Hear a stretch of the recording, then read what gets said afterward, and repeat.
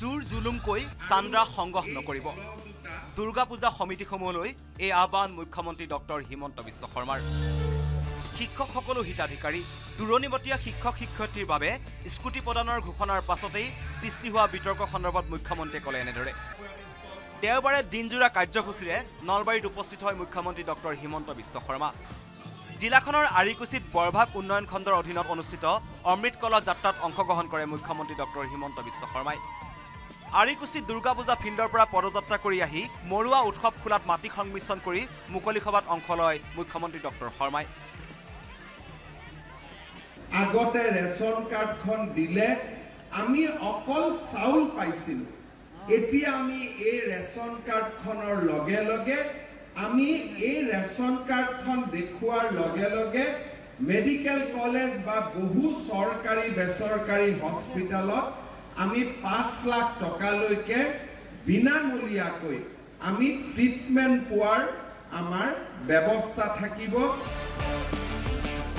সভাত চৰকাৰী আঁচনিৰ উন্নয়নৰ খাতিয়ান দিয়াৰ লগতে ৰেচন কাৰ্ডৰ জৰিয়তে আগন্তুক হিতাধিকাৰীসকলে পাঁচ লাখ টকালৈ মেডিকেল সেৱা লাভ কৰিব বুলিও প্ৰকাশ কৰে মুখ্যমন্ত্ৰীয়ে।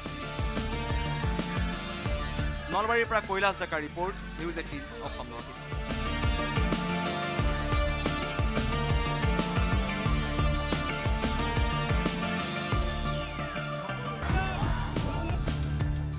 জুলুমকৈ চান্দ্ৰা সংগ্ৰহ নকৰিব। দুৰ্গা পূজা সমিতিসমূহলৈ এই আহ্বান মুখ্যমন্ত্ৰী ডক্টৰ হিমন্ত বিশ্ব শৰ্মাৰ।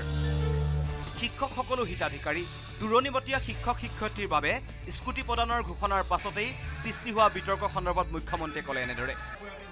দেওবাৰে দিনজোৰা কাৰ্যসূচীৰে নলবাৰীত উপস্থিত হয় মুখ্যমন্ত্ৰী ডক্টৰ হিমন্ত বিশ্ব শৰ্মা। জিলাখনৰ আৰিকুচিত বৰভাগ উন্নয়ন খণ্ডৰ অধীনত অনুষ্ঠিত অমৃত কলা যাত্ৰাত অংশগ্ৰহণ কৰে মুখ্যমন্ত্ৰী ডক্টৰ হিমন্ত বিশ্ব শৰ্মাই। আৰিকুচিত দুৰ্গা পূজা ফিল্ডৰ পৰা পদযাত্ৰা কৰি আহি মৰুৱা উৎসৱ খোলাত মাটি সংমিশ্ৰণ কৰি মুকলি সভাত অংশ লয় মুখ্যমন্ত্ৰী ডক্টৰ শৰ্মাই। আগতে ৰেচন কাৰ্ডখন দিলে আমি অকল চাউল পাইছিলোঁ।